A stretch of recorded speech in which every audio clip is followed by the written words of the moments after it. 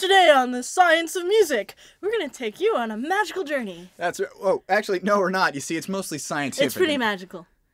Oh, whatever. Just play the intro.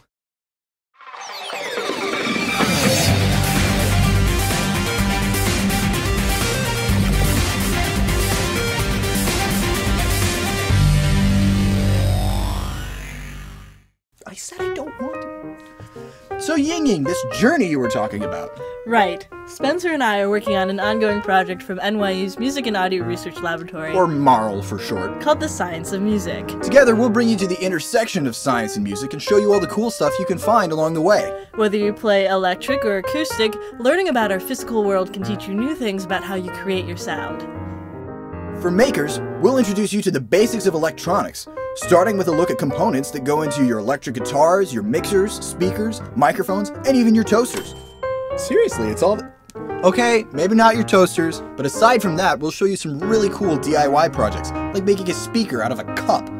And speaking of speakers, if you ever wanted to know what goes on behind the scenes in your gear, check out our gear playlist, where we'll show you the ins and outs of digital and analog in and out of the studio.